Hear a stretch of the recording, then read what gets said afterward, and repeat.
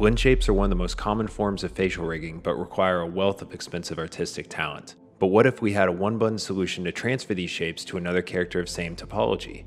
Now, what if we had that same button to transfer these shapes to characters of different topology? In this training series, you will learn the powerful workflow in which many studios are charging thousands of dollars to bring your characters to life. We will harness the power of automation to migrate 10, 100, even 1000 blend shapes to any character on our library with the click of a button. Think of the financial resources and time we could save, as well as the potential our productions could achieve if only our background characters shared the same level of quality as our hero ones.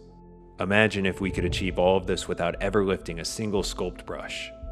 This is the series that will raise your studio's baseline quality and set your asset library far in front of the competition. My name is Noah Schnapp, and I've written and optimized multiple studio pipelines, and I'm happy to share with you the industry secrets I've developed and perfected over the years. This is Automatic Blend Shape Transfer to Same and Different Topology. Let's dive in and change the way we forever think about character migration.